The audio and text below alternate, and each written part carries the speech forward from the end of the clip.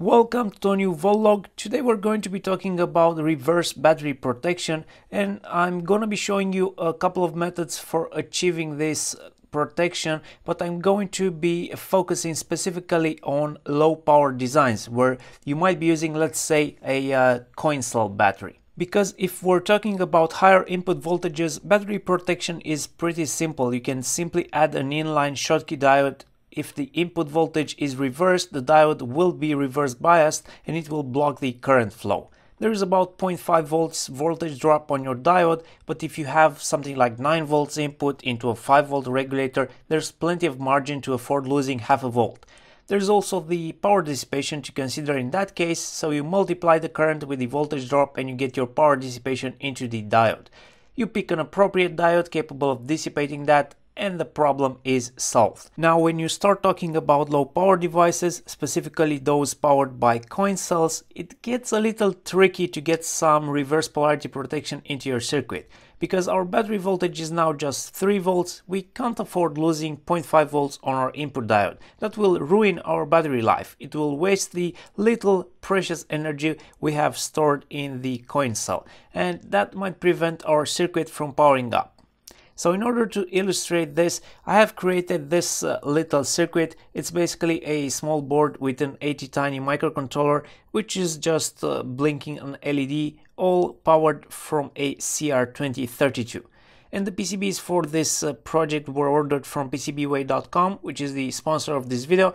I opted for the standard service with green solder mask, standard thickness 1.6mm, uh, HASL lead-free finish because sometimes you just don't need the higher spec PCBs.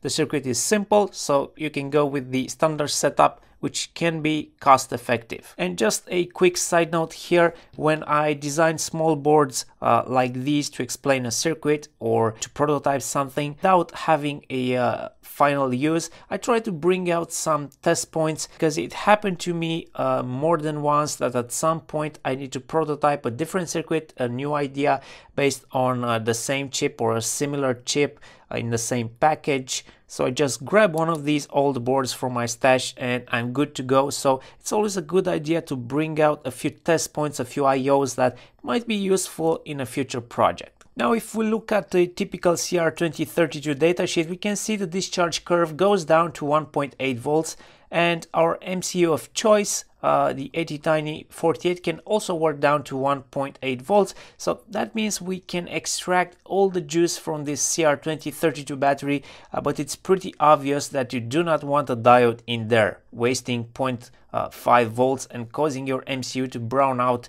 much earlier. So in this case, uh, there are two ways the protection can be implemented. It can either be done at a uh, connection physical level or at the electrical circuit level. Pretty much all uh, good battery sockets uh, or connector manufacturers will try to implement some form of protection in the battery socket so that the user either cannot physically insert the battery backwards or if it's inserted it does not connect electrically. So for example I use this battery socket on my board and uh, if the battery is inserted correctly everything is good but if you insert it backwards you can see the little tab on the side which is supposed to connect to the top side of the battery doesn't quite reach all the way to uh, touch the negative tab on the battery. So this is clever engineering at the connector level, but what happens if you are forced to use a, cheaper connector like this uh, single stamped and folded piece of metal?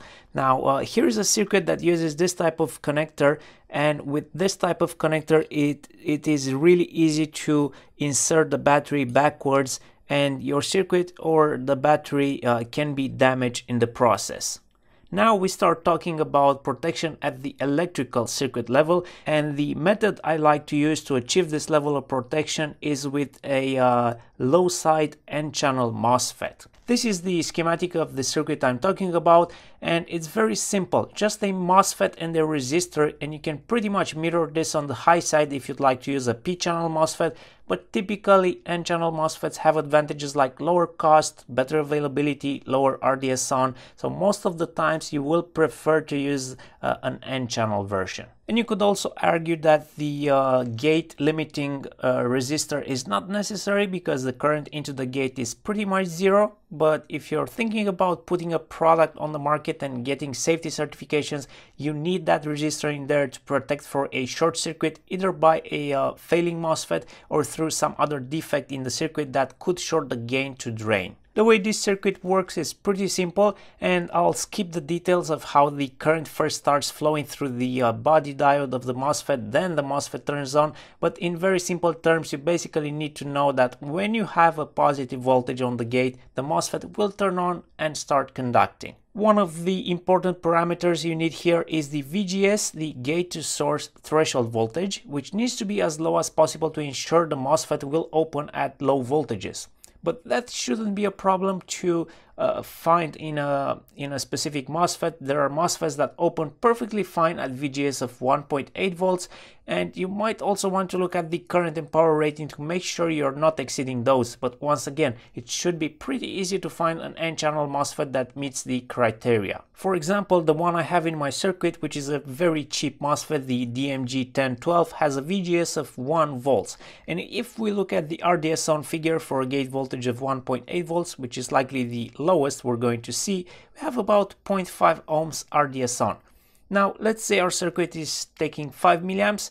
We expect 2.5 milliwatts of power dissipation on our MOSFET, which is perfectly acceptable, but you can certainly find MOSFETs with better specs if you'd like to optimize uh, this uh, parameter. Now you might think, why do I even need to care about protecting against uh, the reverse battery scenario? The CR2032 is a small battery it doesn't have a lot of energy. It has some internal resistance preventing you from discharging high currents. So why do I care about its protection?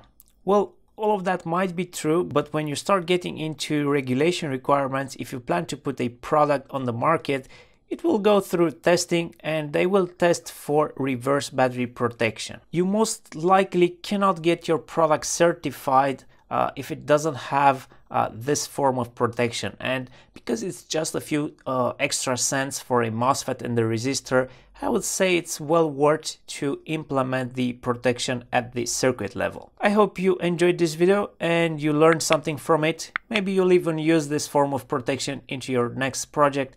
As always, you can support the channel via Patreon to keep these videos coming and if you're interested in the little board I created, the source files are available on my GitHub, which is linked below. And I don't think I will be offering this particular board on my Tindie store. It's a small, pretty much useless board, but you can check out the other projects I offer on Tindie. I will put a link on screen right now. Thank you for watching this video and let me know in the comments if you've used this type of protection in uh, your designs or maybe a different uh, protection method. I would love to hear about it and I will see you next time.